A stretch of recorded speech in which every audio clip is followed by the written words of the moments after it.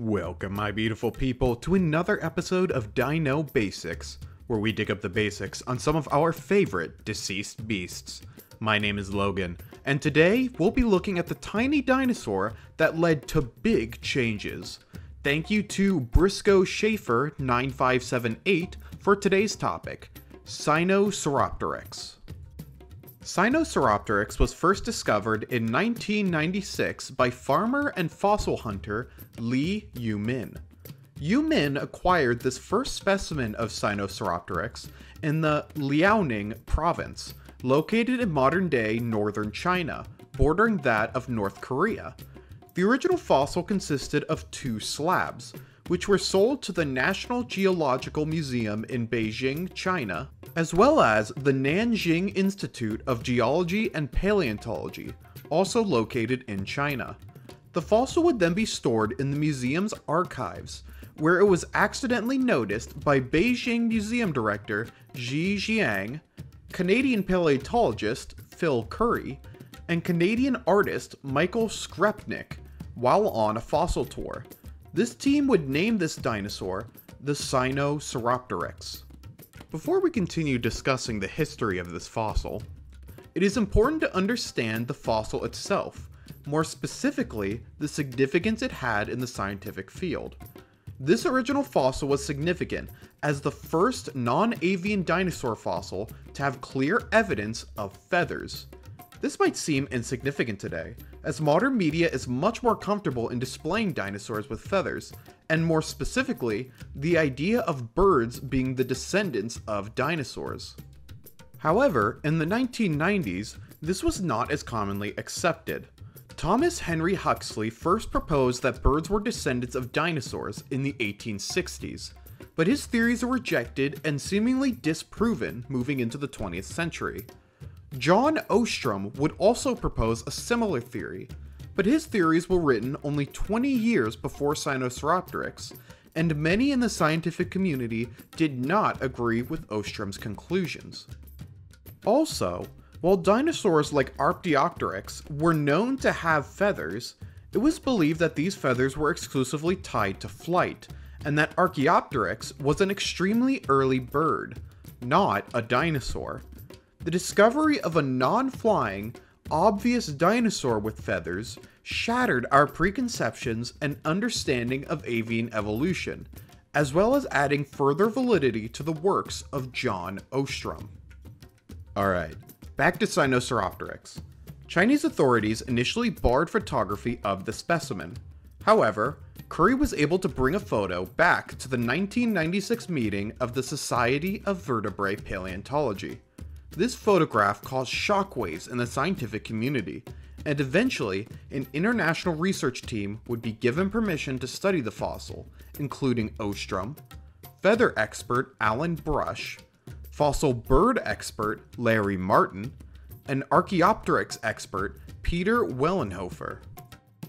This Sinosauropteryx fossil, with evidence of feathers, is considered the most significant fossil discovery of the 20th century.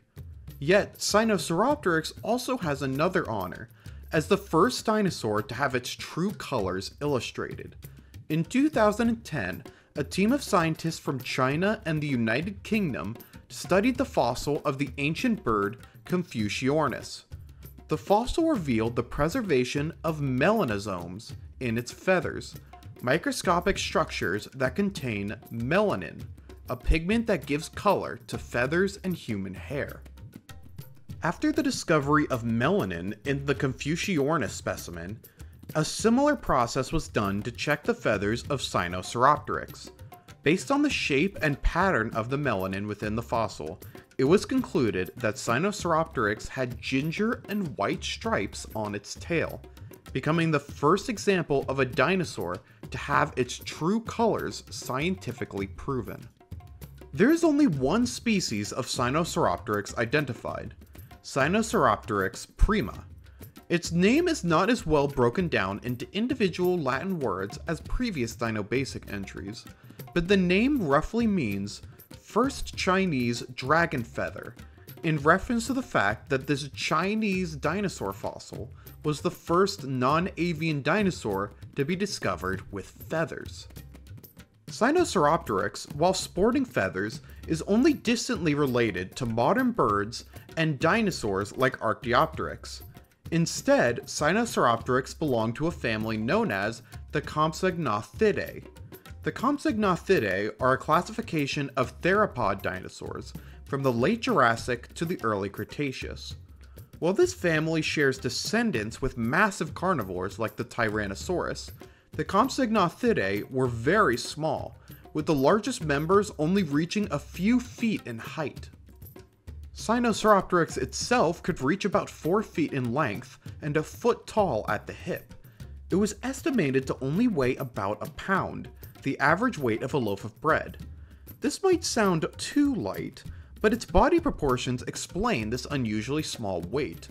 Sinosauropteryx's tail was unusually long compared to other theropods, being more than half of its entire body length. This long tail would keep its body balanced, as well as aiding in sharp turns.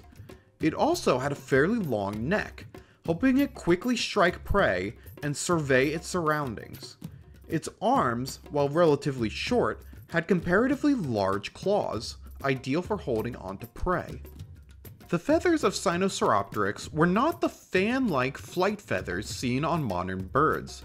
Instead, they were short filaments, appearing more like down feathers, a more fluffy and soft type of feather seen on newborn chicks. While fossils only had the feathers preserved at certain parts of their bodies, like the arms, neck, back, and sides, it is likely that the feathers of Sinosauropteryx would have fully covered their body and were not preserved due to decomposition.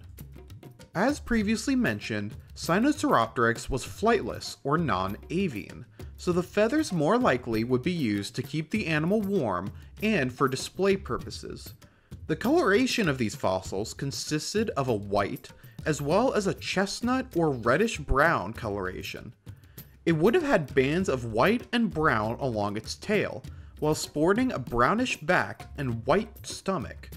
It was also determined that the face would have a raccoon like bandit mask over its eyes, while the rest of its face was white. Sinosauropteryx lived during the early Cretaceous between 130 and 120 million years ago, and most likely would have lived throughout Central Asia, particularly parts of northern China, during this time, China was filled with temperate lakes and forests, ideal for the hunting style of Sinosauropteryx. Due to its size, long neck, and light weight, Sinosauropteryx would have preyed on small insects and mammals. It was well adapted for fast speeds and high mobility, able to keep up with the literal fast food in its environment. However, due to the brown and white coloration of Sinosauropteryx, it has been suggested that the environment would be more similar to a savanna rather than a forest to make camouflage easier. Sinosauropteryx certainly doesn't fit the bill of a standard dinosaur, but it has still managed to make a few small appearances in media. Documentaries have featured this dinosaur the most, including 2007's Mammals vs. Dinos, 2009's Dinomorphosis, and 2017's Ancient Earth The Mystery of the Feathered Dragons. Beyond these, Sinosauropteryx also appeared in 2021's Jurassic World Evolution 2 as a DLC dinosaur. Sinosauropteryx may not be as well recognized, but its contributions to our understanding of dinosaurs is undeniable. It has redefined what dinosaurs could look like in the past as well as what they look like today in the form of birds. Its obscurity really is a shame, but who knows?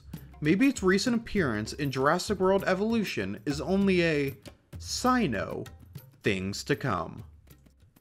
That's gonna do it for this episode. Thank you so much for watching, and I hope you enjoyed. Be sure to leave a comment below what you think of Sinosauropteryx, and if you've heard of this dinosaur before the video. This dinosaur was a bit obscure compared to our other entries, so next week we'll be looking to something a bit more famous, Dilophosaurus. Thank you for your support, and see you in the next video.